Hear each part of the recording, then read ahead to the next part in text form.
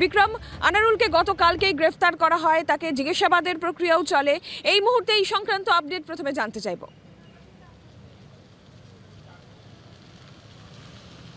দেখো, গতকাল মুখ্যমন্ত্রী বক্তৃতে আসেন এবং তিনি নির্দেশ দেন যে আনারুল হোসেনকে গ্রেফতার করতে হবে এবং তারপরে দেখা যায় যে মাত্র আড়াই ঘণ্টার মধ্যেই পুলিশ তাকে তারাপীঠের একটি হোটেল থেকে গ্রেফতার করে, তারপর তাকে তারাপীঠ থানায় নিয়ে রাখা হয়।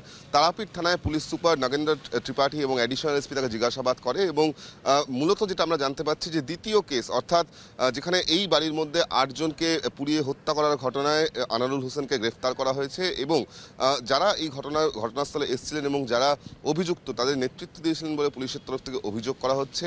একই সঙ্গে জানিয়ে রাখব যে আনারুলকে দীর্ঘক্ষণ জিজ্ঞাসাবাদ করা হয়, গতকাল রাতভর জিজ্ঞাসাবাদ করা হয় এবং আজকের আনারুল হোসেনকে আদালতে তোলা হবে, যেখানে পুলিশ তাকে নিজেদের হেফাজতে নেওয়ার জন্য আবেদন জানাবে। কারণ আনারুলের বিরুদ্ধে তিনশো দুই ধারা এবং একশো কুড়ি বি ধারা, অর্থাৎ খুন এবং অপরাধমূলক ষড়যন্ত্রতে মামলা রুজু করেছে পুলিশ এবং তাকে আজকের যখন কোর্টে প্রোডাকশন করা হবে, নিজেদের হেফাজতে চাওয়ার পর যদি সেই আবেদন মঞ্জুর হয়, তাহলে আনারুলকে জিজ্ঞাসাবাদ করে এই ঘটনাস্থলে কারা কারা এসেছিল, এই সমস্ত বিষয় জানার চেষ্টা করবেন তদন্তকারী অফিসাররা। অপরদিকে জানিয়ে রাখব যে এই ঘটনাস্থল যেখানে আমি দাঁড়িয়ে আছি, অর্থাৎ প্লেস অফ অকারেন্স এখানে আগেই স্টেট ফরেন্সিক সায়েন্স ল্যাবরেটরির যারা সায়েন্টিস্ট তারা এসেছিলেন, তারা পরিদর্শন করেছেন তারা এখান থেকে নমুনা সংগ্রহ করেছেন এবং যেহেতু হাইকোর্টের তরফ থেকে অর্ডার রয়েছে যে সেন্ট্রাল ফরেন্সিক সায়েন্স ল্যাবরেটরির যারা সায়েন্টিস্ট বা যারা এক্সপার্টস তারা আসবেন, তারা এখান থেকে নমুনা সংগ্রহ করবেন।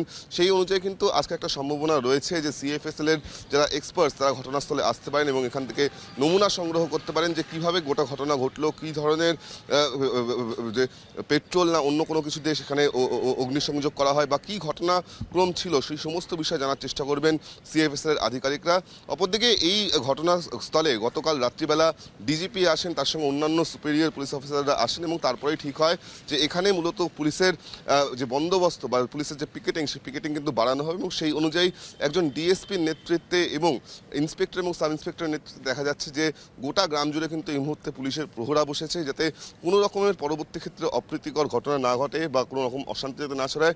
সেই অনুযায়ী পুলিশের তরফ থেকে কিন্তু ইতিমধ্যেই অ্যারেঞ্জমেন্ট রাখা হয়েছে এবং ডিপ্লয়মেন্ট রাখা হয়েছে। সেই ছবি আমরা দেখতে পাচ্ছি। পাশাপাশি কিন্তু যে সিসিটিভি গতকাল বসানো হয়েছিল, সেই সিসিটিভির মাধ্যমেও এই মুহূর্তে মনিটরিং চলছে। মিনি কন্ট্রোল রুম খোলা হয়েছে পুলিশের তরফ থেকে, তার মধ্যে মধ্যে দিয়ে কিন্তু মনিটরিং চলছে। যদিও এই ঘটনাস্থল এই মুহূর্তে দেখা যাচ্ছে যে পুলিশি প্রহরা বসেছে এবং এখনও পর্যন্ত যেটা প্রথমে প্রশ্ন করেছিলে যে, আনারুল হোসেনের গ্রেফতারের কথা, অবশ্যই এক্ষেত্রে দাঁড়িয়ে যারা গতকাল মুখ্যমন্ত্রীর সঙ্গে দেখা করেন, বিশেষ করে এই আট আটজন যাদের মৃত্যু হয়েছে তাদের পরিবারের সদস্যরা তারা কিন্তু প্রথম থেকেই আনারুল হোসেনের শাস্তি দাবি করছিল। সেক্ষেত্রে দাঁড়িয়ে আনারুল হোসেন গ্রেফতার হওয়ার পর তারা অনেকটাই স্বস্তিতে আছেন এমনটা কিন্তু বলা যায়। ধন্যবাদ বিক্রম। সরাসরি ছিলেন আমাদের সঙ্গে আমাদের প্রতিনিধি বিক্রম দাস। এখন নিউজ দেখুন আপনার সময় মতো। আপনার হাতের মুঠোয় রাজ্য দেশ দুনিয়া।